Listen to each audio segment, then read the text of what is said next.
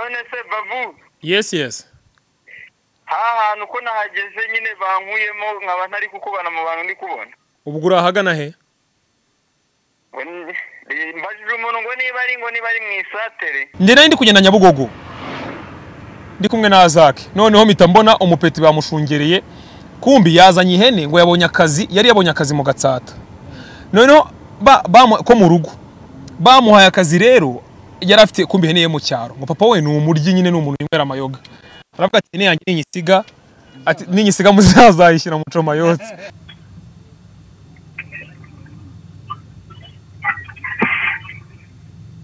ahise abika telefone atanakubye. Babu ranipo. umeze ute? ko wabaye umuzungu ese ko numva na telefone. Urumva nta bintu biri kuvuga eh biravuga nk'igare kanda twumve Eh, buriya hari umuntu uvuye mu nzira ngo hari umuntu uvuye mu biri nzira. kuvuga nk'igare ujya kumunsimbuza se bose oya oya oya ntabwo namugusimbuza nari nzi ko ari- njye mba ndi mu gatwiko ukuntu uteka ninde umuntu apfa kugusimbuza mvuga ijambo amagambo atatu y'igifaransa y'igifaransa yego banza yambwira imiti nyakubwira. Yakurikira ibyo akubwiye ariko nose ndenda ku- kubanziriza. Kareka n'ibibaho wowe tangira ko naraye mu muvure. Umukobwa muvura umvaga nta mubu. Kubera icyo ushaka umukobwa. Ayiwe niga. Mm. abakobwa babahaga ibikapu bakabaha n'amakaramu. None se ubwo wumva nujya gushaka umugore uzagendera kuki banumva nzagendera ku igare. Ngo iki nzaba narariguze. The Choice Live. yes tubahaye ikaze kuri the choice live nk'uko bisanzwe ni babu rwanda cyangwa se rugemana amen babu nizere ko mumeze neza nanjye meze neza kabisa nibereye mu rugo mba ndi eh? mba ndi aho ngaho aho ngaho ariko meze neza. Ariko kandi umwe mu basore bashima imana i kigali kubera yuko uh, macima iby'imana ikora mba nshima ko imana ikomeje kuturinda n'ibindi bigiye bitandukanye. Abantu benshi baba bavuye mu mubiri hari benshi biba byanze batariye naho kuba ari ikibazo kandi nabo si uko imana ibanga ahubwo nuko imana igenda igena ibintu mu buryo bwayo cyangwa mu nzira zayo kugira ngo ihabwe icyubahiro. Hari um, umurongo wo muri bible nigeze gusoma uvuga ngo uh, mana uzampe ibintu bizatuma ntakwibagirwa ariko kandi uzandinde kumpa bike cyangwa kugira ibyo mbura kugira ngo ntaziba nkatukisha izina ryawe rero imana ikora ibintu mu buryo bwayo kandi ni umukozi w'umuhanga. Nk'uko rero mubizi abantu bakurikira the choice kuva kera muzi umutipe twigeze gukorana ikiganiro nigeze kumusanga nyabugogo mu gihe cya nyuma ya covid ho gatoya yazanye ihene nyabugogo muramuzi. Abenshi bakunda kumwita umwana w'ihene. Twakoranye ibiganiro bigiye bitandukanye muri gen z yaragiye arakora n'ibindi bigiye bitandukanye. Mwaramubonye twamusuye iwabo mu rugo ah, mu karere ka nyanza ah, ni hagati ya nyanza na ruhango ni ho ah, iwabo batuye ndetse kandi nawe mu bushize yari yaje kunsura hari n'umutipe wari wamwemereye inkoko nubwo yamwemereye ihene ntabwo arayizana ni umutipe wo mu bufaransa ariko. Mfite nimero ye ndaza kumubwira. So hanyuma ah, rero nepo muramuzi mwaramukunze yamamagaye arambwira ati babu rwose ngomba kuza kugusura. Ati kuva waza uvuye hariya muri gereza ati ntabwo ndagusura. Ati naza kugusura. Ndavuga nti n'ubundi nepo twamenyaniye kuri twamenyaniye kubera kamera reka kuza kunsura kwe nze kubibereka abamukunze kugira ngo tuganire. Ni umutipe ugira story nyinshi cyane nyinshi cyane kabisa zigiye zitandukanye. Ngiye nibereye mu rugo agiye kumama ya- yageze nyabugogo namubwiye ngo ampamagare nagera santere kuko ngenuye muri za kicukiro muri za kicukiro ahubwo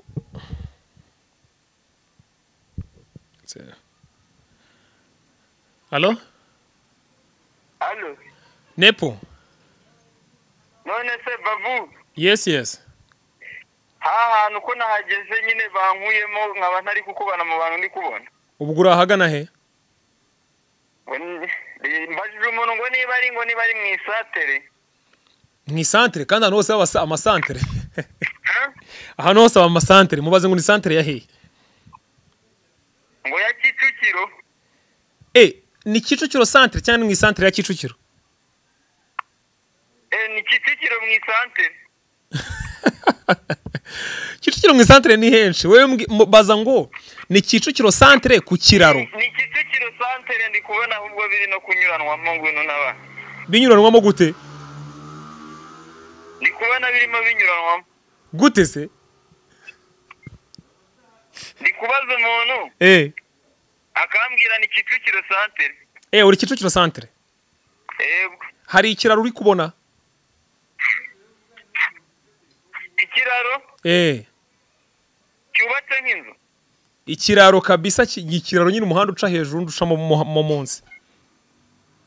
Reka nze nguhe umugabo twaba turi kumwe nawe ndi kubaza kubwira sawa alo mwiriwe neza niyo neza Mm. Uh, uwo muhungu wacu ngo arahagana hera bari hano kicukiro santere Kicukiro centre ahagana he neza? Aho namusanga. Oh hari kicukiro santere hano mu- mu- munsi y'ikiraro munsi y'ikiraro mbonye bisi niba yaraturutse nyabugogo mbonye bisi musiga hano ku bamotari. Ah okay. Aho ni sawa. Nta kibazo. Sawa. Reka tuze tumurebe. Urakoze munsubize hano nepo. Karame hagarara aho ngaho ntuhave ndaje ntabwo ntuye kure yaho. Eh ntabwo mava ndabona birimo binyuranwamo. Oya ntuhave ntuhave ndaje. Si uri imbere y'abamotari? Ibo nari magaranye nyine n'undi mugabo niho ambwiye nguma. Sawa reka nze reka nze reka nze ngufate narebe eh. Sawa mwana wanzaniye iki se? Si ibijumba se. N'ibindi byose byo mu cyaro urya intoryi eh mfara intoryi nizo ni inyama z'abapolisi byose navangavanze sawa sawa reka nze umupira eh wamwita nepo. Eh umuhungu wanjye kabisa urumva ko yahageze. Njye ntabwo ntuye kure yaho ari hano Kicukiro centre reka nze gato yanguruke murebe hanyuma muzana hano mu rugo tuze tuganire. Abari bakumbuye nepo umwana w'ihene kuri the choice kabisa reka nze mubakubite twiganirire. Ni umwana wanjye ni umuhungu wacu kandi namwe ni umuhungu wanyu. Reka tujye tujye kumureba. Ni fresh turaza kuvugana rero ubwo ngubwo nepo kambanze muzane. Reka umuhungu bita Jean Nepo njye kumubazanira sha. Mubazanire. Abantu bari bamaze iminsi banamukumbuye. Uyu ninde? Alo Oui, Bobo. yes yes. Mm, none se muri mbasane classique cyangwa hari ahandi ntabasanga didier. Karame. Wowe uri nyamirambo se? Eh, ndi nyamirambo hano hano kuri green corner Uh, wansanze kicukiro se. Mu kagarama wansanze mu rugo ko ari byo fresh. Mu kagarama. Eh classic nari mpavuye na- nari nahavuye ariko n'ubundi mu kagarama ntago ari kure ya ya sonatibe ntaribe eh uhita umereza motari. Murangire uhita umera motari murangire sawa reka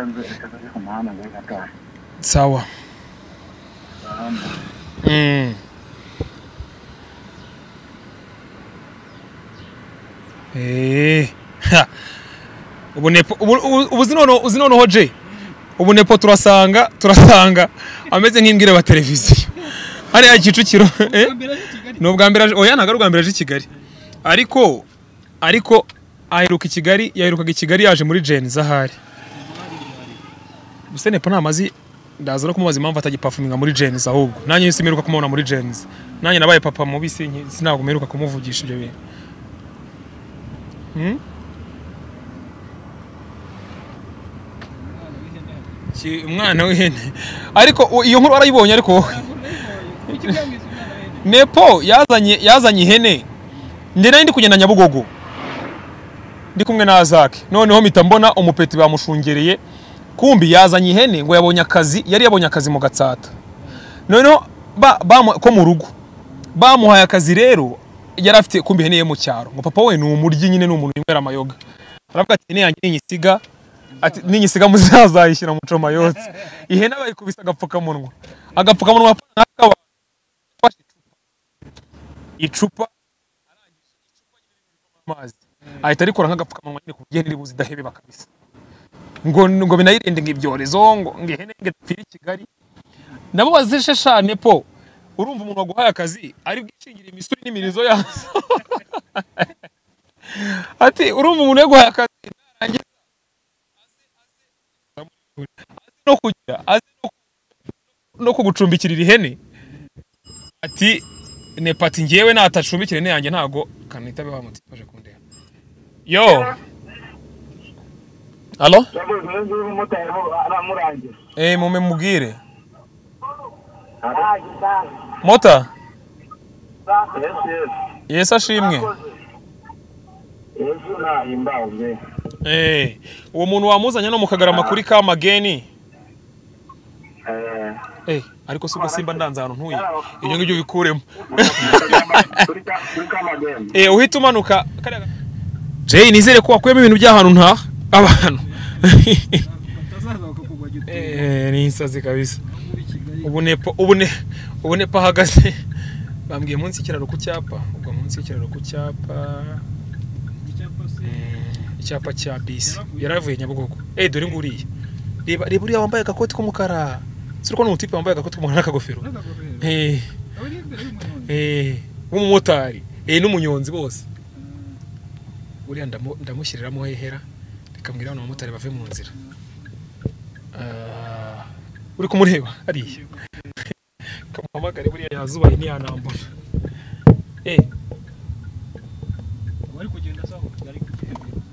ari kugenda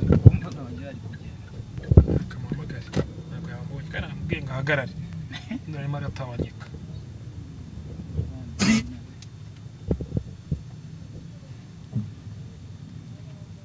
kambe mpagaze hano nubwo ari nabi ntabwo ahita agaruka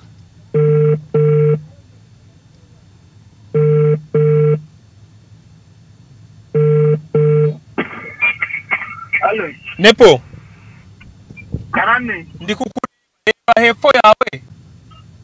Eh. Reba hepfo yawe imodoka y'umweru. Y'ivatiri cyumweru eh. Eh. Hari uri kubona Ah. apana iyo ngiyo y'umutuku? Eh iri munsi yayo. Eh y'umweru. Cyumweru cyumweru ndi kuyibona. Eh ngwino ngwino ngwino ngwino ni ho ndi.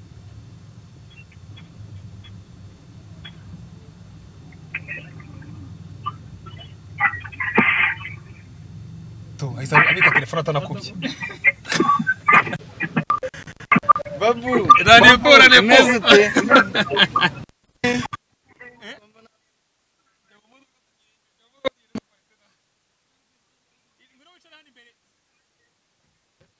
uruka uca hariya museni akira mite ngutamo n'akamikoro sha tugende tuganira ko wabaye umuzungu Eh. ese ko numva utakubyina telefone. Nabyibagiwe. Umva sha sha nepo we uri uri umuti w'amenyo kabisa. Reka mba nirebera ibinyuranwamo mba nabyibagiwe. Eh. Mm. niko ye bimeze none se ibintu wanzaniye ibiri? Umugabo nyiri ingofero ni we nari mbihaye.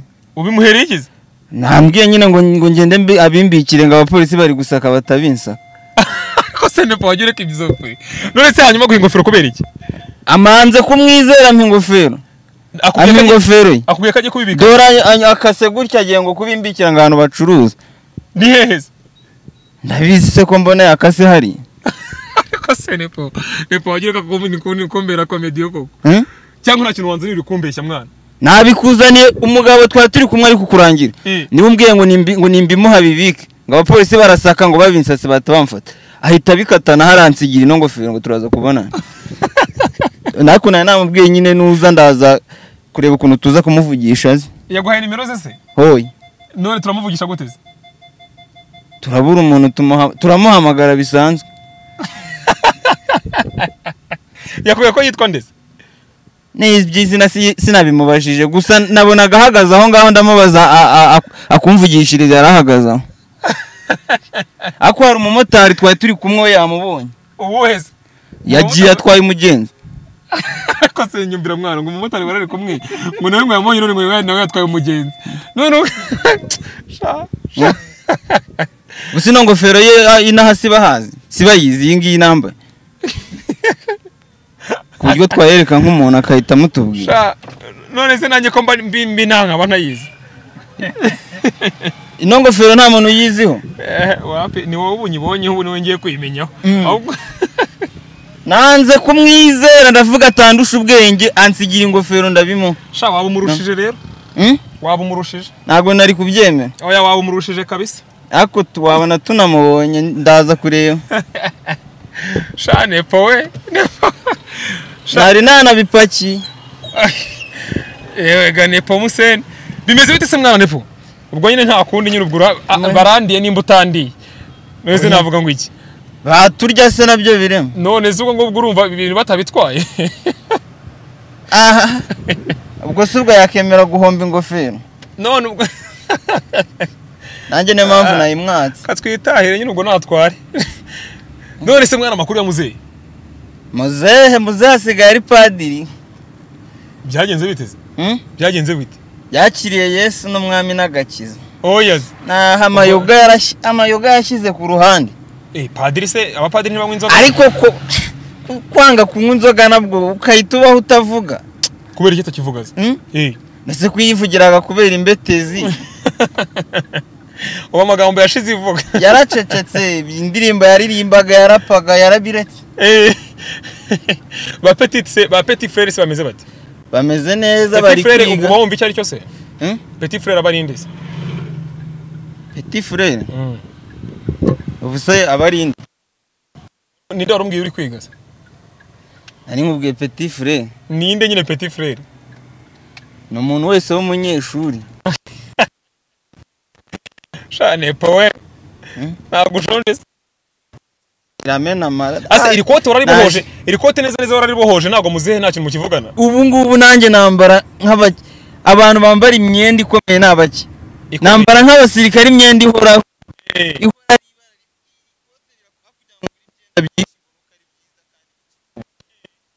muri ino kote. Uzi ukuntu ryambara igihe iryo kote ujya n'iri se niyo ryanduye ko bitagaragara. Eh ni umukara rimeze neza cyane. Uri no kurikuriramo dore wakuze ubushize cyari kinini none dore ndabona wa- waribyimbije cyangwa wagiye kurigabanyisha kwa, tayeri? Cya- warijyanye ku cyarahanisha twebwe aho kugabanya turongera oh yes. Ah ni na bintu byacu byose turabyongera ntitujya tugaba aka hantu ni mu bazungu. Hano se tureba bene nk'ikizu nka kimwe muri ibi ugiteretse iwacu. Mm. Umudugudu wose wahita uza kwibera muri kwezi? iyo nzu baba bagikodesha nk'angahe nko ku kwezi. Byaba ari nka bibiri atanu ibihumbi bibiri magana atanu by'abanyarwanda Hmm? eh. Hano bagikodesha ngahe? Oya banza umbwire iwanyu. Yabikodeshwa nk'angahe ubwa mbere baba bakodesheje. Eh. Iwacu usara umuntu ujya ukodesha. Eh. Ah, mbese ntabwo mugira abapagasi? Ba- b'abantu bitaga abapagasi kera pagasi twebwe se ko ari abantu baba bagukorera? Nyine akaza ukamuha inzu akajya guha imibyizi. Twe babyita gucumbikira. Eh. Bagucumbikira ku buntu ukajya kumuhingisha. Eh ni ukuvuga ngo mwebwe. Ntabwo twe- twebwe umuntu ubaye mu nzu yawe atari iyo yubatse eh. Uramuhingisha bigahwaniramo.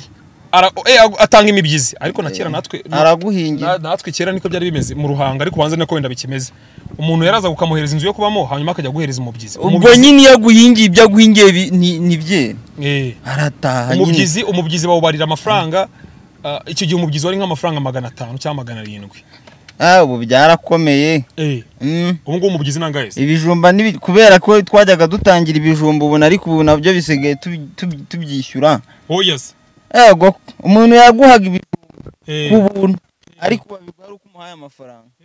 Rero ubu byarakomeye umuntu asigaye ahingira igihumbi n'amagana. Byarakomeye impande zose. Dore nanga nsigaye ntuye nepo Eh? nisigaye niberamo hano. Wiruka cyagiye mba ku gisozi. Eh, cyagiye unzanira amagi sha? None se nawe birikingura? Oya. Mm. hari umu hari umuhungu wanjye uri buze gufungura. Ubu ngewe mba nakomanze iyo nza kuba ndi jyenyine. Ahubwo se barahari. Eh mu rugo umuntu ahita akomanga. Hmm? umuntu ahita urabona akomanga kariya kantu kari hariya? Mm. kariya ka- kariya kabuto. Mm. Ye- Eh, kiriya nanjye ndakizi si gikora iki? Bagicanisha itara ngaho sohoka ugenda ukandeho maze twu- twumve. Haraka ukande ibindi? Wowe genda ukande ture twumve. Eh umusirimu. n'ibigorofani twe turabikinye eh? Salamu bimeze bite? Eh. ko nta kiba? Kanda twumve. Urumva nta bintu biri kuvuga? Eh biravuga nk'igare. Kanda twumve. Eh, buriya hari umuntu uvuye mu nzira? Biri kuvuga nk'igare. Ndongera njyemo oya urashaka kujyamo? Eh urashaka kujyamo? Si tukigenda. Oya twahageze mu rugo. Eh cyangwa urashaka nkwinjirane ndetse wowe ko mpano ukirimo. Ngiye kwinjira. Cyane powe yose. Busha bimeze bite? Nganyumvira mfite umukozi wanjye buri gihe. Iyo ninjiye ahita ngo gura akantu. Uri kumbwira ngo iki? Wowe murangije ibyo utanagura mwimbwira ngo uragura akantu. Ndagura akantu. Eh, urakagura pe urakagura nk'agakiza Eh, uragura aka kamusiteri ntare ase ubushobozi. Ko abantu bazi ko umukozi wanjye umu- umuhungu wanjye aba ari umudiva ari umudiva ari umurokore. Ayi muzi twabirenga. Muzi twabirenga byo byo nepo ngwino hano. Hmm? ngwino twige. Ayi musitari kabaye. Ahubwo nagira gura akantu. Nepo nawe agura akantu se arasa neza. Reba ukuntu usa reba ukuntu nepo asa nepo ngwino twige akira umupira akina umupira eh eh ako manu siko bushara yabambaye jezi ya Rayon Sport nanjye nambaye jezi ya Rayon Sport nanjye nanjye ndi umurege ubu boss ni nde umu dabudefoye ni imwe Eh. iyo Nanjye- rero siporo yatsinzwe aravuga ngo ntago ntago ajya afana ibice biraza ariko iyo rero siporo mu bihe byiza tayari kaba ka- mba ndi umurembo ngomba kwambara akajezi ka Rayon hano ko muryama hanze. Oya ni ukwicara hano icara hano. Twicare hano imisego twayikuyemo kubera imvura yaguye dushyiramo iyo Ku- oya kuticaye ku musego se? Mm. reka njye nicareho hano. Menyereye ibishara dore usa menya nepo umeze fresh rero. Meze neza n'inzara. Urashonje se? Dore dore minisitiri n'uyu nguyu ahubwo njye nanzi ko iyo umuntu abonye ano mazi ahita ahaga. N'ubundi uraza guhaga wowe muri aracyari kare. Mbona bigerekeranye. Ntabwo nanzi ko mu mujyi bahasonze. Oya ntuzi ko ari ukihagera Mm? nabaye ari nko guca kuri sitasiyo bakagushyiriramo umwuka. Nari nsanzwe nari nsanzwe nzi ko ahantu umuntu yigereye hari abantu benshi haba hari n'in- n'indobo z'ibi- z'ibiraha. Ariko aho nageze nta n'ibyo nabonye. Hariya twagusanze Mm. ni sawa cyane Nategereje indobo. uno muhungu uramubona se ndamubona sa cyane yitwa yitwa bushari. Bushari? Eh. bushari? Tujye gusenga. Oya ntago ati nose kumbona kumbona yambaye ibi byenda uyu n'ugiye kunsimbuza mbimenye. Oya ntabwo namugusimbuza. Uzi kumbona nazi imibare ariko avuye mu cyaro vuba Eh, avuye mu cyaro i nyanza cyambara neza ingofero urambiye ngiye nta mupira nkina. Ni ndetse ukina ari kuvuga kunsimbuza se baransimbuza he? Ahubwo ujya kumunsimbuza se bose. Oya oya oya ntabwo namugusimbuza nari nzi ko ari- njye mba ndi mu gatwiko ukuntu uteka ninde umuntu apfa kugusimbuza? Nonese ko mbona umuzanye ntazi imibare ye bimeze kumenyesha umuntu yagira ngo mbere yuko muzana ngo maze mumenyeshe mubwire ngo hari umuntu ngiye kuzana Umbwire uko- mbikurikira. Nonese tu- harashaka wajya utanateguje umuntu? Wowe ngo urashaka kugira. Ukuntu ateka? Eh. kanze muhunge gera hirya wamuteka mitwe. Murashaka wowe wowe mbwira. Ubundi Ki- kigali ariko ni ubwa mbere uyijemo? Kigali ibamo abasirimu wa, muhungu? Kigali nyizamo. Ibamo abasirimu kigali ntabwo abantu bameze gutya bajubaraye wowe urajubaraye ntabwo kigali wayishobora undi uyu muravukana. Bisaba kuba uri umuntu ukerebutse nawe ndabona ukirinjije ukuntu. Uyu muravukana. None se wamurusha igifaransa se? Eh, igifaransa wenda ntabwo yapfa kumurikira cyane. Icyo cyaba ari icyo kwigaburira cyari icyo kwihahira. Cyari icyo kwihahira pe. Reka- nicare hano.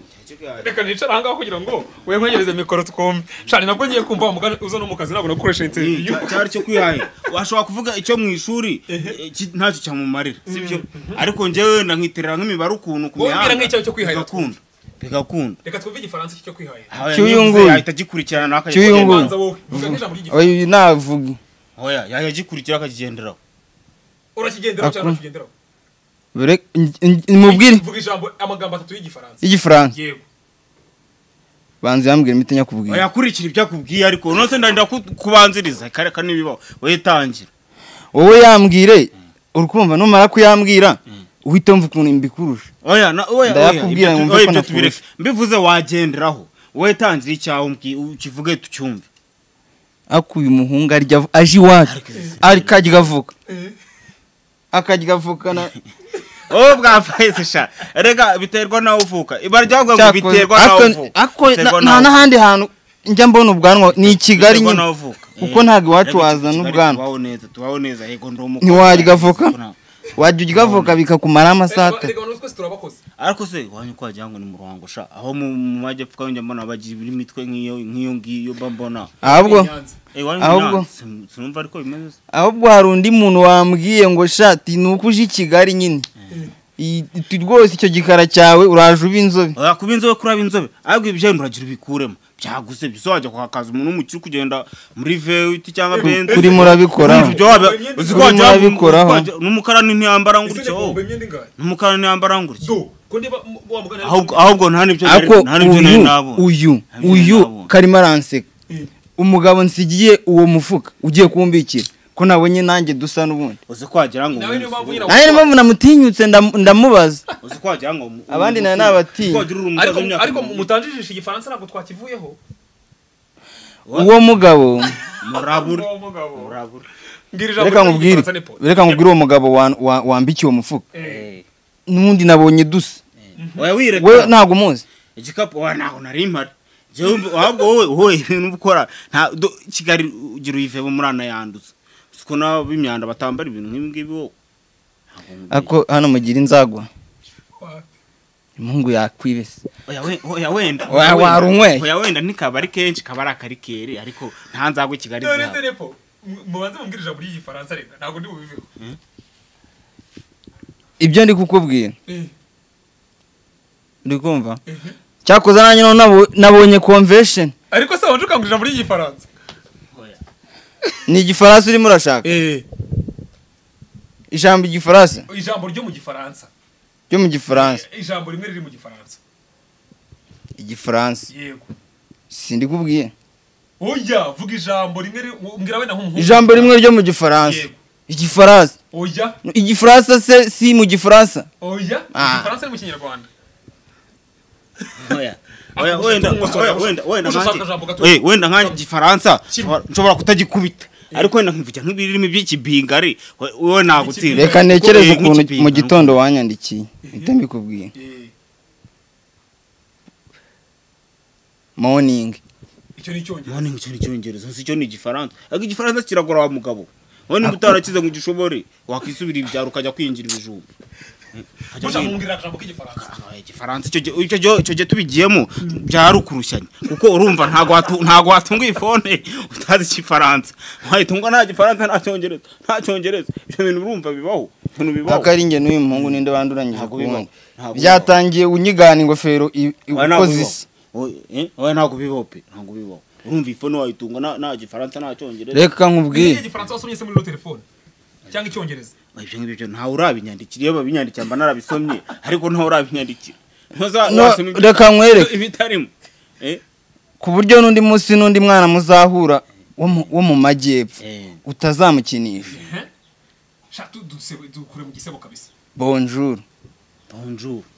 Zimusubije oya wovuga iryawe ugendera kujya kubwiye Ya- yavuze iki? Bonjour Eh, nawe vuga irindi ritari buriya u- buriya mu rwagwa aho uzava ukagera habamo indimi utazakinisha umuntu umubaza. Wareka kuvuga igifaransa nkavuga icyongereza. Oya banza igifaransa n'icyongereza turakijyaho oya reka mvuge iki- reka ndeka kuvuga igifaransa mvuga icyongereza. Oya vuga igifaransa kimwe ariko bushana yitwa bushari? Eh.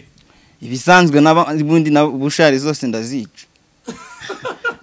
Mukiza. Ntabwo zose wazimara. Ntabwo wazikubitira kuzimara. Mu bisanzwe no mu rugo n'ubundi bushari ndazica. Ntabwo wari kunanira. Ntibibaho ijambo ntabwo wazabura sigamuka ntabwo uzabura. Ntibibaho. arabivuze bushana shamusha munsebeje nubwo b'i Kigali ngaho vuga iry'icyongereza ntari hayi uzi si ibyo hayi ubwo bivuga iki hayi ni cyo gihe ubwo umusuhuje umuntu wa- wahaye Eh, oya ntabwo ari umuntu Eh, wahaye ni umusuhuje Eh, umusuhuje ubwo hayi ni waramutse hayi ubwo hayi bushana ubwo uhita usubiza ngo iki hayi nawe nyine ntabwo urenzaho nawe iyo umuntu akwarikiye hayi hayi biba bihagije si byose anyemeje ate se ntazi ibyo ari morning, kuvuga nawe morning. Nta bindi. Umaze kuvuga abiri twari twavuze atatu n'irindi rimwe rya nyuma ryo mu cyongereza ryo mu cyongereza wavuze hayi na morning. Irindi rimwe Ah, hari irindi ah. Aba ntabwo ari a bonjour.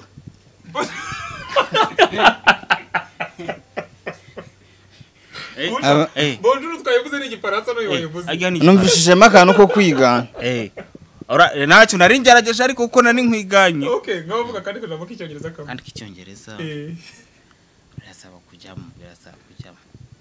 Injiramo injiramo twinjiremo turebe. Birasaba kujyamo. Agiye kuvuga iki? Aje gushaka ijambo ry'icyongereza ritari hayi na morning. Agiye kuvuga? Mm, agiye kujyamo hano muri telefoni se? Agiye kurireba kamupfundurire. Abantu mpfundurire si ugiye kujyamo? Abantu mpfundurire fone se barayipfundura Ah, ah, ariko uyu muhungu ah, mu- fone fone ntabwo bayipfundura umuhungu akora iki? Oya fone ntabwo bayipfundura fone ni ukureba nyine ibyo umuntu agusubije nawe ukamusubiza. Ntabwo fone bayipfundura ukora iki? Njyewe nkora iki? Nkora akazi. Hari ikindi kintu akazi. Akazi kankorera ukame nkagukorera Mm. nk'akazi ushaka ko nkukora ni nk'akawe wembwira nk'akazi nagukorera. Kuko ntabwo nakwitoratora ngo ndakora akazi Aka- k'amazi akazi si kamwe. Utuzi turatandukanye. Ni akazi nyine kitwa akazi kamwe bitewe ni akazi ariko kaba gatandukanye. Ushobora kumbwira ngo ica umuntu cyangwa se genda woza umuntu cyangwa se furiramye cyangwa se uzira modoka ibyo birumvikana. Cyangwa se nkakwambika neza n'ingofero bigakunda. vuga icyongereza bakubaje vuga icyongereza. Ariko ariko nareka ramye nareka ibyo na- ibyo na- ibyo nakoze. Buriya nari ngerageje kumurengera agomeza kunzamuraho itiku. Nta tiku inshuti yanjye nta tiku nta tiku. Ngaho vuga icyongereza nakurengeye ngo tuharenge ngaho vuga icyongereza. Manike se urashaka ko manika? Vuga icyongereza nyine urashaka ko manika? Eh. Eh? Eh. Njye ndahanitse Ah, uremeye? Eh, ndahanitse ndahanitse reka mukubita ikinyafu ku buryo n'undi munsi. N'ahandi tuzahurira y'icyongereza. Mu y'icyongereza majyepfo batazatumenyera y'icyongereza. Yego. Y'icyongereza. Cyane. Hayi hayi heyi hero byose si ugusuhuzanya se? Na hero ni ugusuhuza muri singizi atatu washakaga. Atatu yose inyujuje yose inyujuje hari ayo wavuze? Atatu yose inyujuje nta gitsinze. Atatu na yo ndayujuje. Ndayakukanye ubwo amajambo atatu Nda- hayi hayi hero eh, na hayi. ndayakukanye Nda- yose inyujuje hari ibyo uvuze se? Hari ibyo uvuze? Eh, eh, Kamwe arakanya ibyo ariko. Kamwe arakanya ibyo. ndayakukanye ndayakukanye Ne- busha uno mutipe yitwa nepo. Sinzi arya utu- ku gisozi ntabwo twabonaga nepo aza tugakora ikiganiro. Ntabwo ari uyu. Eh hari undi mu bushayi ntabwo ari ariko mm, nabonye umutipe ariko nawe nabonye wagira ngo na ariko ubu- ariko n'ubundi byose ni kimwe. Ariko ntabwo twari duhuje n'uwo ndabishyira. Ari uwo nguwo n'uwo nanjye urenze mvugije ukuri. Utavuga ngo nuko tumwenda ngo unyamamaze uvugije ukuri. Urenze n'ubundi ni uwundi. Aya ni uwo wundi rwo wowe se ko turi kumwe we yararenze yaragiye yaragiye. Urenze n'injye rero turi kumwe. Ntabeshya ze urumva ko turi kumwe. Warinze no kunyamaza yo ku- no kunyambaza urumva atari njye urenze. Wanyiganye gusa. Ntabwo nakwiganye. Nakubise urakubita. Hari iki? Kimwe kimwe? Wanyiganye. Kimwe kimwe. Ndabeshya nepo ariko bakwita uyu nguyu yitwa nepo urumva? N'isamba aryo wanya bayisambaza ako ziraza ni zanzibar. Wabi ahubwo wenda abana majyepfo mu mwara. Ako se nawe harya ari umusitari sibyo ibijumba intoryi ubugari. se buracyaboneka. Ubugari ntabwo bwaburayo. Kuko nigeze gutemberera mbona n'ubundi nta sinasibayo ubugari ntabwo bwaburayo. Ubugari se ko busigaye butunganywa bu- burenze uko twebwe tuburya bugahita bwizira iwanyu ariko nepo eh iza yafu ya kinazi baba hari ikintu andusha nepo? Ikintu andusha mise mbibona kuko urebye aka azi- akufana APR na niyo ufana. Si ufana ra- fana gute. Wenda ufana ikipe ikina mu Rwanda umuntu wo mu majyepfo Rayon Sport nta mukara n'umweru ubundi bibaho. umuntu wo mu majyepfo umuntu wo mu majyepfo Atari atari- aka kantu wambaye agashanete. Eh, eh, aka kantu niko ka- karankomye ariko ndanika agakojyo. ibi byo ntago ndanika nuko mwantunguye. Aka ni agakojyo. nuko mwantunguye. Nuko mwantunguye ntago wari kumereza ni umuntu none. ukagu- ni umuntu ukaguha ntukamusubize. Kumereza gutya. Ukamukura. Ugahita ukamukura. None se ngo imyumbati byagenze bite mwana? Ifu y'imyumbati mu ruhango i nyanza byagenze bite? Ura twebwe dusanzwe twirira ibigari twikubitiraguye mu Eh. mu maseku isekuru ndayizi isekuru Eh. kera bajyaga batubwira ngo umuntu yashaka guhinduka umuhungu akaba umukobwa ngarara mu isekuru. Oya, cyangwa mu ko naraye mu muvure. Mu muvure. umvaga nta mubu. Kubera icyo ushaka umukobwa. Ayiwe niga. Mm. abakobwa babahaga ibikapu bakabaha n'amakaramu mu gukubitwa akaba ari twe dukubitwa cyane. Ntago ubu ngubu aho umaze gukuriramo gakeya se urumva ucyifuza kuba umukobwa aya? Kubera iki? Abakobwa kenshi bakunda ku- kubura abagabo ariko nta mugabo wabura umugore.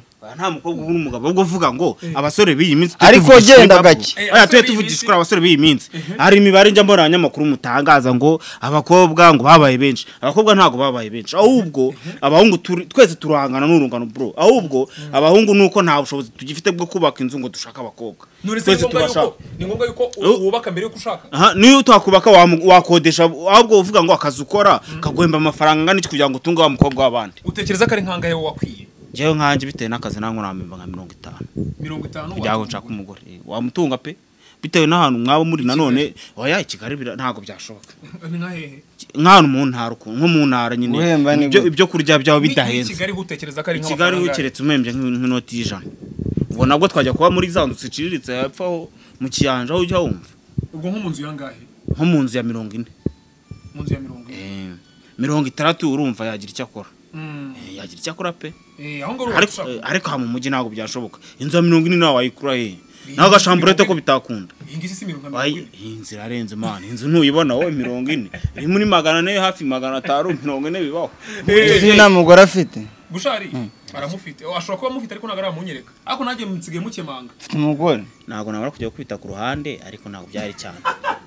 Uko bitiraye ku ruhande ariko ntabwo byari cyane. Ufite umugore. Ku ruhande ibintu mama wazabibona. Eh? Oya aho ngaho ho ntabwo yaba eh, aho ntabwo byaba birimo nare karama nare karama. Aho nare karama. Aho nare karama rwose aho nare karama. Wa mugani wawe aho nare karama. Mama wazabibona wabona hari abantu bazabikata bakabimwoherereza ngo ngo waje i kigali ngo kwirirwa ngo wigira imfizi oya oya, y'akarere naje mu kazi naje mu kazi naje naje guhiga ubuzima pe naje guhiga ubuzima. Aho ngaho aho naje guhiga ubuzima. Ariko afite umugore. Ngakubita ku ruhande. Aha ni ku ruhande. Uri ukwiyeranja ni depanaje. Tuba tudepana tuba tudepana ni hatari. Nepo none se amakuru y'inyanza mwana. Amakuru y'inyanza ese za hene zimeze gute none ihene? Eh, imwe zimwe zabaye ibikecuru izindi zabaye ibisaza. Za- zimaze kuba nka zingahe zimaze kuba enye zimaze kuba enye iyi dutoya n'indi nkuru. Za nkoko. Uzi ko hari umutipe hari umutipe uba mu bufaransa? Iyi- iyi- iyi- Uzi icyo bita umusinziro? Eh, urakizi? Zarwaye imisinziro se? Ariko nyine hapfa inkuru hagasigara intoya nk'ibisanzwe. None se nta kuntu umusinziro bawuvura w'inkoko? W'inkoko? Eh, si nimba kera baraziherazaga urusenda? Umusinziro rero w'inkoko ukuntu uvurwa ni mu birungo. Gute bwo? Eh bagahita bayotsa. Oko ye jyada ni cyo kintu ikijyo. Bajya bashyiramo n'urusenda bigakunda ukuntu bashyira urusenda mu mazi. Eh nanjye ni byo nari nzi kera Eh, inkoko igakira mu mazi y'isosi. Ese wanywa isosi nta rusenda? n'urusenda mana. Kuko Amazi bashyiramo asanzwe. urusenda rwinshi. Inkoko igakira. Ibyo ntibigikora rero. Mushyira mu safuriya Ah, ubu se ko ibyo ntibigikora. Zabaye nyinshi nyine nk'uko Zabaye isengero zabaye nyinshi bakazifunga. Zabaye nyinshi ese hari ibidahinduka? Mm, ibyo ntibigikora. Ntabwo bigikora. Niko none se ubwo nepo?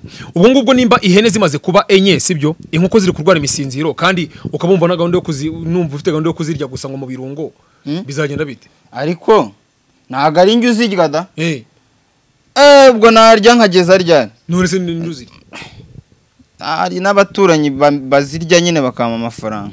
Ah aje amafaranga ngo biba byumvikana neza cyane. Ubwo narya eh. izi mu zuba eh. Ziba zipfa ziba zipfa nk'imbeba. Ni hatari. Ahubwo ariko rero ngira ngo zipfa mugani mu mvura. Ngira ngo ariko ukwiye gushaka zipfa mu zuba. Isi nkoko na zo zigira veterineri. Eh, nose veterineri w'ingurube se w'inkoko? Byose. W'ingurube ni we w'inkoko. Si imiti eh, w'ingurube ni we w'inkoko pe. Veterineri. Uriya si nk'uko bazitera urushinge na zo? Baba bafite ibinini baziha nta rushinge. Veterineri ni umuntu ugira ute azura. Uri uvura nyine umwe bahamagara akazana uvura uvura ni nawe wundi uba usuzuma Eh, inyama babaze bazi veterineri ubwo ni mu gifaransa niyo mpamvu nabyumva. None se ubwo ngubwo nepo sibyo? Wari urimo urabaza uno mutipe we nimba azashaka afite umugore. Wowe wumva uzashaka umugore? Eh, eh? Nimbyuka nkumva bindimo. Ahubwo si uwo buri gitondo iyo ubyutse ntabwo biba bikurimo. Ushaka umugore? Keretse uwo bantumye none se wowe wumva uzashaka umugore ryari? Nko mu myaka nk'ingahe iri imbere. Mu- umugore na mu gitondo nabyuka mushatse ariko mu mutwe. Ehe. Mugani w'uyu nguyu. Eh Cyakoze mba numva harimo- namwumvishe marashaka kuza bimwe azajya yigura ngo bimwe by'amannyo bimwe by'amannyo bimwe azagura amannyo wavugishije ukuri ukabita ukabanguruka nko mu myaka mirongo itanu. Mirongo itanu se ufite imyaka ingahe wowe? Ntabwo waba ukiriho ahubwo mirongo itanu imyaka turimo niyo mibi. Nzaba mfite ingahe? Eh, ubwo nzaba mfite ingahe? Ufite ingaho se njya nyibara. None se ubwo wumva nujya gushaka umugore uzagendera ku ki? Numva nzagendera ku igare. Ngwiki nzaba narariguze. Ra- eh nose ugendeye kuri moto hari icyo byaba bitwaye ibyo ndi kuvuga kugenderaho nyine uzakora ikiziki umugore agomba kuba yujuje ibiki kugira ngo bumve ko yaba umugore wawe? Nimara kugendera ku igare ngiye kumushaka. Nzakurikizaho kumubyaza. Ntizo uzafata umugore wese ubonye? Ntabwo uvuga uti wenda nkunda abakobwa b'inzobe cyangwa b'ibikara cyangwa se babyibushye cyangwa bananutse inzobe se ngo kugira ngo ikunde ingire inzobe nanjye. Bafite amannyo nyine ba- bandi baba ari beza. Abafite amanywa nibo Ah, beza biterwa n'umuhungu ko aba kuri wowe ngiye kuri njye mbacaga kimwe kiba ari cyiza nyine. Kimwe kigenda kikaguterera. Eh ariko ukunda amannyo umuntu umukobwa ufite amannyo ntabwo nkunda amannyo ahubwo nkunda umukobwa ufite amannyo wundi nyine ureba ukanaguteye santima Ngi- singiye kurya? Ibi nanjye kumubwira ntabyo mvuze. Nuko bitarimo. Ugiye ku- ugiye kurya? None usimera nk'aho abashyitsi baza wamubaza ngo uranywa iki? Agahita avuga ngo hoya ndababwira amaze kurya. Urabizi ko twagutekeye? Ngaho nimureke inzara inyicira hano mbabafunge. Oya nepo urarya humura. humura humura urarya hato nta kibazo niko ye urumva icyo kintu kiri kuvuga se? Mura nanjye byahumura Wayibonye indege? Eh, eh, eh. kajugujugu uri kuyibona kajugujugu? Nsanzwe nzibona iwacu ahubwo n'ubwa mbere nyibonye ari nini. Ikwegereye. ikwegereye. Eh? Iriya ndege urabona irasa umweru. Bayiteye irangi. Murasa. Muri gusa. Ni igiye guparika hano. Oya hariya hariya ni ku kibuga cy'indege hari i kanombe. Eh. Eh, haba hari indege nyinshi cyane zigiye zitandukanye. Ni sawa- cyane. Nepo ubwo ngubwo wari uri kumbwira yuko wa mushinga wi- w'ihene aho bigeze yuko ari uko bimeze sibyo? Hanyuma se kutagira ku shaka ko ihene zigomba kunsiga ahantu nk'aho oya ihene byo nta kintu zitavamo. Ubu mwana w'ihene ageze kuri angahe? umwana w'ihene Na- ese ubwo abantu bazigura bameze nk'uyu nabo bagendera kuri ibyo. Babigendera hari Simbivuze. babigendera eh niyo ubonye nta taye ifite urayireka. Ndabeshya se ndabeshya. Ihene uyiguze y'ibihumbi mirongo ine ukuguru kwayo nta biro bitanu birimo. Uba wahombye uba wahiye kaba kabaye. Nanjye ntuze kungura ndabona uri mupima ukwanjye. arimo aragupima mbona yumvumva ukwanjye. Barakugura ihene hari ukuntu bayikanda gutya bakayireba ba- bakayikandamo gutya icyo gihe baba bumva ko ifite ibinure nyine yuzurije yuzurije. Ze kuncungira akuza umutekano. Akuza akuza gutya ikiganiro ndi kumwe n'umukobwa. Nibyo bintu byari fresh ni byo nanjye gutya nkumva ko bimeze neza. Si byose Usha, uzi ko n'abantu bo mu rugo bazareba kino kiganiro? Ngo nzabikatamo. Uragomba nepo. Ni ukuvuga ngo uh, kuki utekereza mu gupafominga muri jenzi maze igihe kinini cyane nakubona. Byagenze bite? Ubu ngubu ndi mu mishinga. Mm. ariko burya n'ubundi baravuga ngo ujya gutaruka arabanza agasubira inyuma. Cyane. Eh, ndi gusubira inyuma rero nintaruka bazahita bansanga muri amerika. Icyo cyongereza utazi nzakubwira uzi ukinyigisha muri amerika. Nza- Nzajya nkubwira- iby'ibanze bya tura ntabwo ndaguhamagara. Iby'ibanze. Ntabwo ndaguhamagara muhu nzaguhamagara ukinyigisha. Nintaruka nintaruka aho muri jenizi ni muri amerika. Murapanga kujya nka nyuma y'igihe kingana iki? Nzajya njya gukorerayo biriya nzajya njya gukorerayo biriya ninjya gutaruka by'umwihariko ningeramo hagati ngiye gusimbuka uzabimenya. Azabimenya. Ni sawa. None se nyine byagenze gute? Nepo ni gahunda nyinshi zituma utagikorayo cyangwa byagenze hari ukuntu mutumvikanye sinzi. Ntago njyewe nta na- nta tiku njya ngira. Njya ngira kutumvikana n'abantu ni njyewe nyine ni gahunda. Mm. hari igihe ibintu bikubana byinshi. Mm. noneho nk'ayo matungo ariko wareba nanone igihe twari turimo n'ibyo birwara numvishe Mm. bituma nyine mba ndetseho ese iyo ngiyo iw- iwanyu yahagiye- irahari? Niba ari aya. Twebwe se ko tuba turi reverite? Avuze akandi gafaransa? Arakumvishe. Eh? nkavuze ntabizi ariko ubwo akumvishe sawa muri reverite. Habaye aka gatatu urumva bivuze nk'iki busha baba nk'uko numva bivuze koko nta gifaransa nzi baba ari abantu nyine ba Uretse- uretse avuge buri- baba ari abantu. Bakurikiza amabwiriza ya leta. Kuri njyewe Eh, nyine wowe mhm, yego. wowe nawe nakurikiza amabwiriza ya leta. eh, wowe washaka kuvuga abantu bagize bate uyu yarabyishe ubundi reverite ni abantu baba bakurikiza ama- amabwiriza y'ubuyobozi. Ntuzi siyo ya leta siyo ya leta. Wavuze leta. siyo ya leta. Ubuyobozi na leta se bitaniye. Wavuze leta. Leta ni bwo bwa buyobozi. Yego wenda nawe leta ariko ntabwo uri umuyobozi. Ntuzi uri ni umuyobozi ukuvuga ngo ngo verite bivuga abantu bakurikiza amabwiriza y'ubuyobozi uyu wowe ikavuga? bwo kwirinda. Eh, ya leta. Wowe ni abantu bakurikiza amabwiriza ya leta? Wowe ni abantu bakurikiza amabwiriza y'ubuyobozi? Ubwo ubuyobozi na leta ubundi bitandukanira hehe urumva ko uyu nguyu ari kuvuga ibitari byo. Ubwo noneho wowe uri kuvuga ibiri byo leta n'ubuyobozi bitandukanira he? Leta n'ubuyobozi? Ubuyobozi ni abantu baba bakuyobora. Mhm. hanyuma leta yo? Leta yo leta ni iki oya bari kukubaza ukabaza umunyamakuru wowe wowe bari kukubaza ukongera ukabaza wowe bari kukubaza subiza igisubizo kuba subiza ibyo bari kukubaza bari kukubaza eh wowe subiza ibyo bari kukubaza leta eh subiza bari kukubaza leta ni ibiti by'amashyamba. Oya. Oya. Aho waba ugiye ko kuvuga ngo bavuga ni ibiti iwacu bya imi- leta. imisozi ko bavuga ngo biriya ni ibya leta. Ni nyine ni bwa buyobozi si bwose undi kumutsindira se? Si undi kumutsindira. Bya biti bya leta rya shyamba rya leta. Ntujyemo. Eh ntujyemo. Genda gake twumvikane. Si uri kubona imisozi irata? Yego. Biriya ni byo leta. Oya. Reka. Bavu- bavuga yuko ari ibya leta. Ibya leta. Eh. Eh.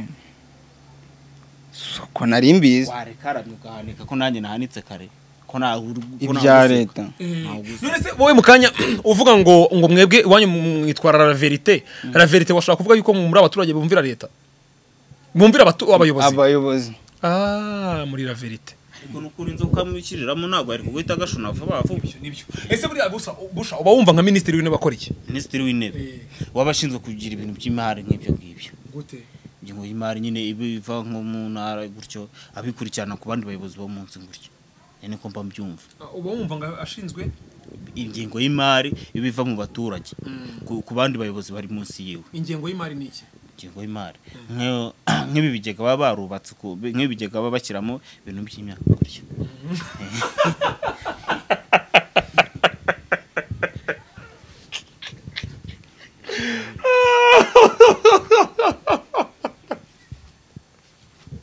uretse gatoya njyewe nyine ubinsobanurire neza. Ibyo uri kuvuga ni byo ahubwo ndagira ngo ubinsobanurire neza. Urakumva? Ni ukuvuga ngo uba wumva minisitiri w'intebe akora iki minisitiri w'intebe. Yego. Abashinzwe gukurikirana? Abashinzwe gukurikirana? Ibintu ingingo y'imari y'abaturage biba bijyaho mu bigega gutyo nyine. Ba- b'abayobozi baba bari munsi kugira ngo abayobozi bari munsi ntibabirya abo baturage. Hanyuma bumva ingengo y'imari yari iki? Yari iki? Imari ingengo y'imari ni iki? Ingingo y'imari ni yayindi bizafasha ba baturage muri cya gihe bizaba byabaye nabi. Niko mba mbyumva. Eh. Hari igihe hashobora kuza nk'umwaka mubi wenda kwa kundi abaturage baba bahinga ni- imvura ikanga kugwa. Hakaka rya zuba bakajya muri bya bigega bakareba ibyo babitsemo bakareba uko babafasha. Eh ingengo y'imari ni bya bigega. Ah. Ne wowe ni kubyumva. Ne po wumva minisitiri w'intebe akora iki? Minisitiri w'intebe? Eh. Anumva atunganya intebe. Azitunganyiriza he? Mu ntebe. Iyihe ntebe? Yatunganyijwe nande yo? N'abafundi. None se nyine ubwo aba ari gukora iki? Wabatunganya intebe bakoze. Akazitunganya gute? Akazitera neza se? Nawe uri minisitiri w'intebe kuko tukigera hano watunganyije iyi. Eh bumva minisitiri w'intara utunganya intebe abayobozi bari bwicaremo baje mu nama. Eh? Si byo oya hanyuma bo bumva ingengo y'imari ari iki? Ingengo y'imari? Mm. Ingengo y'imari nk'uriya mufuka nakuzaniye Mhm. yari imari. Mhm. Eh, yego none bayikwibye. Bayinyibye se kandi ari njye wabibahaye mbishaka? Eh wabishakaga? Si yambwiye ajye kumbikira abapolisi batabisaka bakanjyana. Ntabimuhaye none biri he? Turajya kubizana. Wapira ngo yazanye ibintu none bihaye umuntu. Ngo amufashe bose wagutumye ikintu genda uzane kiriya kintu. Ukakihageza Turajya kureba mudugudu.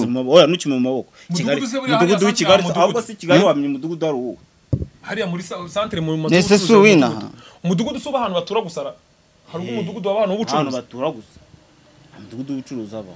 Eh, aho aba babaho no mu ntara ntababaye no mu ntara ntababaye si umuzi se. Ndamuzi se twari turi kumwe? Kigali ntawe umenya undi. Nawe tumenye ese abantu binahura abayobewe nawe tumenye uyu munsi hano tuzongera kumenya na ryari? Twebwe abantu b'iwacu tuba tuziranye. Abantu iyo banyweye muba muziranye. Basa abantu umunyu n'amazi byogeraho. Eh, n'amazi byogeraho ntabwo tugi genda gake. Eh, ntabwo tugisaba ibintu by'imyunyu witonde. Ah biracyahari nta n'ibibirita ahubwo umunyu? Eh, ntabwo uri mu rwanda. ariko leta y'u Rwanda yagize neza. twebwe ntabwo tugisaba umunyu. Umunyu wa magana atatu wa mugani Awuya, ni isukari yo twayisabana. Abantu bamwe ibyayi mu cyaro ntibangaye. Kari handi waba ari igipangu kugira ngo ngusabe umunyu nawe igipangu kwaka nk'iki hamwe aba ari igipangu nk'iki oya nawe kwaka nkakubwira wampaye kugira ngo usabe se ko ntabwo wamusabye niko kwagusaba no se uba usaba umusubiza ko ntaba mwatsi. Uvuze gusaba kandi naba mwatsi. None niko kwagusaba akomeje kukureba ahantu bagu ni hano bagufunze. Njyewe se Mm. Kose. numvishije baragufunze. Ese ko utaje kunsura mwa? Ntabwo nzongera kugukinisha. Eh. Akantu k'agakojyo nakumvisheho ntari nsanzwe. Bakubwiye ko byagenze bite? Ngo bamfungiye iki? Ngo wakubise umuntu ngo umamare iminsi itatu anuka ingesi Eh, ingumi yawe ngo ituma umuntu anuka urubori ntuzongere Ntabwo- ntabwo nzongera kumukiniraho oya none se nepo ubundi umenya ko bamfunze abimenya ryari? Byagenze gute? Kugira ngo ubimenye. Ni umuhungu wa mbere nigeze kubonana wabimbwiye. Umeze ate? Ngo ni ndera. Ewe umukameramani nawe ni inzobe. Yakubwiye ngo iki? Yaguhamagaye akubwira ngo iki? Yarambwiye ngo so wanyu bamufunze. Bakubwiye ahita akubwira ko bamufungiye iki? Yambwiye ingumi jyewe mitanu bitewe n'ukuntu twirirwa tuzesurana iwacu. Eh. mpita numva ko iyo ngumi ikaze mu rwanda kurusha izindi zose bafungira umuntu. Iwacu turazikubitana tugasangira urwagwa bikarangira nubwo ntarunywa. Eh. Bikarangira. Eh nubwo ariko we ngo wayikubise umuntu bahita ariko banagwa wenda wagufataho gake bitari ukurunywa ariko ugafataho gake urwa. Urwa. Wamufataho gake kuko wamufataho gake yinywera akagage gusa. Ko agashira mugana ikigage kibyibushye ashadura amatama Agashira. twajyana n'umwana iki w'umukiriya gihungu bakindinde aho umeze nk'abateye. None se ko utaje kunsura nepo naraje. Eh. Sinaje nkakubura bakanga kukumpa bakakubwira ngo iki?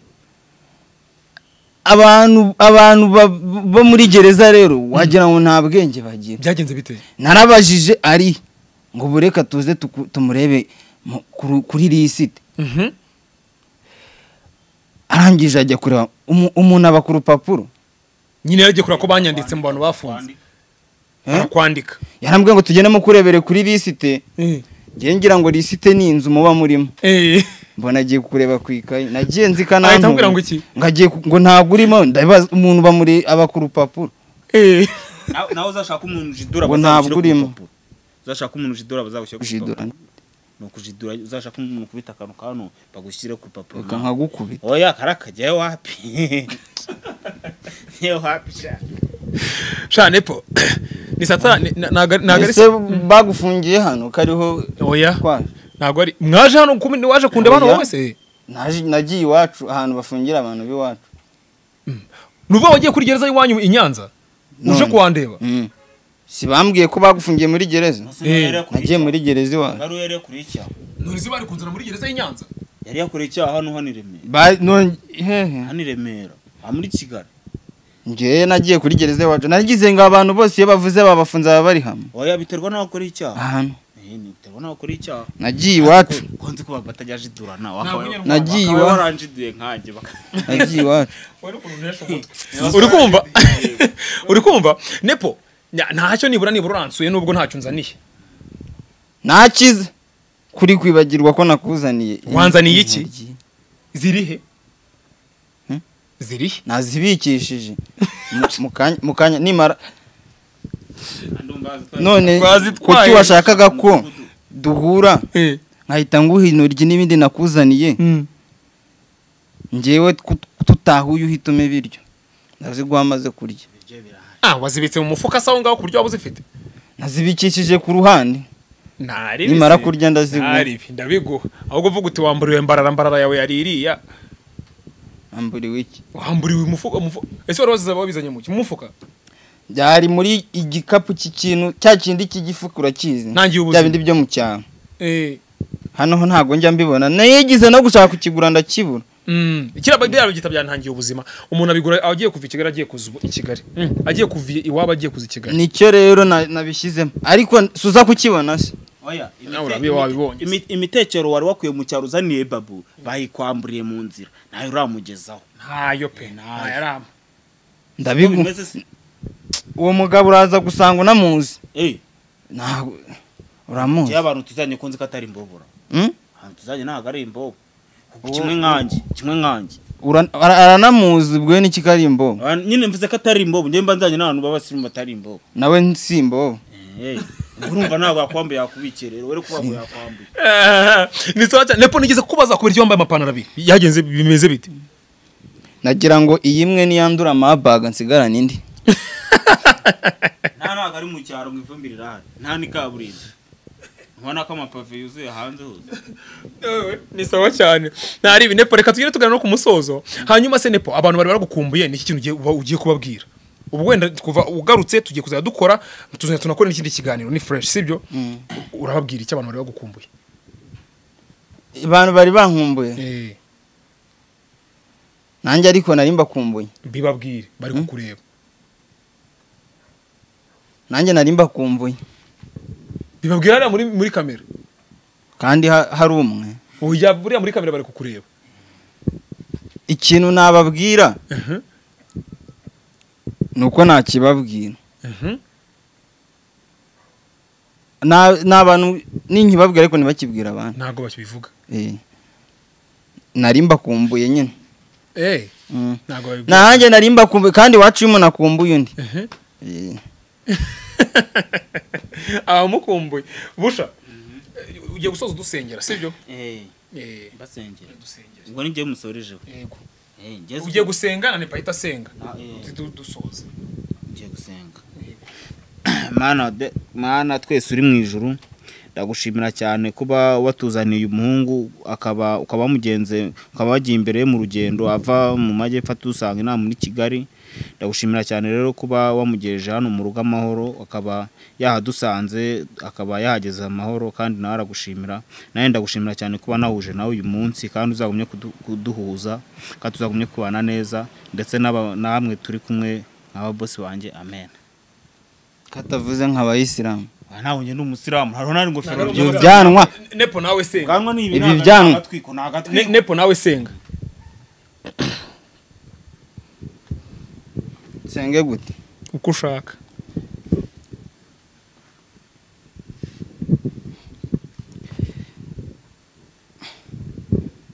Ni- ngiye kuvuga kwa kundi. Senga. Ntanabivuganyeho ubu. Oya. Ibyawe ntako nzi. Kwa kundi basenga Mhm. mana nk'uko uyu muhungu yabivuze ndagushimiye kuko wandinze. Mana ura- urabizi iyo inzara indiye sinjya mbasha kwihangana. Ariko yandiye pe ariko aha nihanganye. Wandinze rero uze no kundinda mana. Mu bintu ndi burye nze kuba nongeye mbibonye ntaza kubaza ngo ndabirya gute. Mana turagushimira uyu muhungu wameze ubwanwa nta mugore afite. Mushakira umugore. Nabyanga umuhamagare. Shaka umugore. Uncira urwa pirate ushaka iwacu iyo umuntu azanye ubwanwa bafite n'umugore. Shaka ariko umugore. umuntu azana ubwanwa nta myaka aragira yo kuzana umugore. Mm. Nka nose ubu ngubu nimba ngiye kuzabaho neza nka babu mbizire. Baba bakubwiye ko afite makumyabiri n'ine wabyemera. Wa muhungu. None se usoza isengesho? Ariko bigenze ararisubiramo ararisubiramo komereza ku bwanwa wari ugezeho wari ugeze ngo ku bwanwa n'umugore. Ntashaka umugore nye none se ubwo urakomeje ese ko wagira ngo ni mushiki wawe ushaka kumuha? Uramufite se? Nta mumu uramufite? Ese nashaka umugore uzungukira uzunguka iki? Uyu? Mm. Nashaka umugore nzunguka iki? Mm. nzabuze iyo aba afite umugore yazamushakira hano. Eh, ah ntacyo nzunguka. Natamushakira hano. Iri tiku rye nzarikira. Ahubwo rizaba ryinshi. Nzagumya kuyomba. Nzarekera kuyomba. Ariko u- iyo umuntu atarashaka umugore aba aba aba arya cyane. Ibintu byo kurya sinyambishobora wenda ndarya ariko bitari cyane. Nyine ndarya ariko bitari cyane. Namera nk'aba bandi ngo ngo ntabwo bashobora kurya. Ariko ntabwo ari cyane. Aho wamunsebeshe oya ntabwo ari cyo cyane. ntabwo ari cyane pe. Tuba tuvugije ukuri. Ngo ntabwo arya cyane saa sita Uhita- u- usenga ibyo nari nsigaje. Mu byo wari usigaje? Oh. ariko icyo gihe urumva harimo inuza harimo harimo inuza nangiye kujya mu mu mwuka. Bisaba cyane nepo. Reka tugane ku musozo sibyo? Ntabwo uzasubira muri genzi ubu ukagenda ute? Eh? ukagenda oya ntako ntako. Kubaza ntabwo uzasubira muri genzi nta gahunda ufite yo gusubira muri genzi gukorayo. Ntabwo byahagarara no mu rugo barabizi iyo ntangiye guhinga ntabwo nshobora ku- kureka uwo murima ntawe uhinze ngo nkunoze. Eh bivuze ngo dushobora kuzongera tukakubona muri genzi nta kintu njya na i- i- mba nagarukiye mu ruhango. Mhm. Ntarinjira mu modoka nkahita hano. ariko umurango n'amajyepfo? Nakomeje nka umurango niyo ugeranye n'amajyepfo? Hmm? n'ubundi n'undi kubaza sibyo ko wanunze mikoro nkahita nkureba ariko n'undi kubaza umurango niyo ujyanye n'amajyepfo? Urahazi? Umurango nakatiyeyo ntabwo bwi- bwije ariyo ndi mpita nunya ndazamuka muri kigali. icyongereza wavugaga ni iki cyo utagenda unasoma? Oya nase mu ruhango hagiye handitseho icyongereza cyangwa icyo gifaransa? Karaka. Handitseho ibinyarwanda. Musobanurire nepo Eh, musobanurire. Nsobanurira murango niyo ijyanye n'amajyepfo niwo mu majyepfo ni mu majyepfo. Eh, bisobanura i butare se bimeze bite bi? Ubutare n'amajyepfo bitandukaniye. byose ni kimwe. Ndi umuyobozi w'intara y'amajyepfo. Ariko uwo mu ruhango wakagombye kubimenya wakagombye kubimenya. So wabiyoberwa. Harya gushaka uvuka he? Genda hano ikibungo ikibungo ubwo ni mu ni mu iyihe ntara. Mu ntara- mu ntara- mu- eh? ni mu ni mu iyihe ntara? Mu ntara? Mu ntara y'iburasirazuba. Ubwo intara y'iburasirazuba se? Na nyagatare bitaniye nyagatare ntaho bihuriye. Nyine bitaniye hehe intara y'iburasirazuba na nyagatare. Nyagatare. Aha ariko sha birahuriye bihurira he?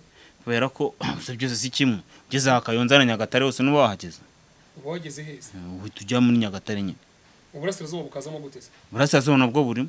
Gute? Si byo mbwira nyine. Urumva ari uburasirazuba na nyagatare na kayonza habanza iki? Burasirazuba habanza burasirazuba ugahita n'ubundi n'uburasirazuba buri buri kayonza iri muri burasirazuba ibyo ngibyo rero ni kimwe rero na butare n'amajyepfo. Eh, ni sawa cyane. Nepo reka mbashimire urikumva nshimire none badukurikiye ariko kandi mbabwire yuko ushaka uh, udukurikiye ushaka kugura imodoka hanze uh, muri japan muri korea muri taiwan ndetse no muri uh, na dubai hose. Mwagana go best.